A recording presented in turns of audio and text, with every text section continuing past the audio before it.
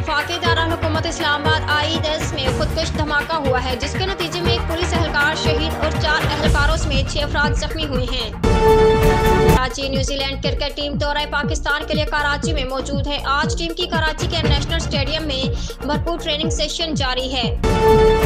सहाफ़ी और सबक वजी अजम इमरान खान की सबका अहलिया रेहाम खान रिश्ता इजतवाज में बन गई। रेहाम ने उसकी इतला अपने ट्विटर पर दी। पंजाब रहमान की जानब से रात के वजी अला परवेज लाही को डी नोटिफाई किए जाने के बाद नए वजी अला का इंतखब कब होगा?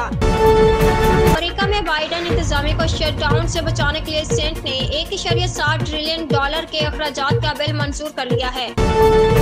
इस्लामाबाद वज़ीर खारजा और chairman peoples party Bilawal Bhutto Zardari ने सिंध में करप्शन के खात्मे के लिए आवाम से मदद की अपील कर दी।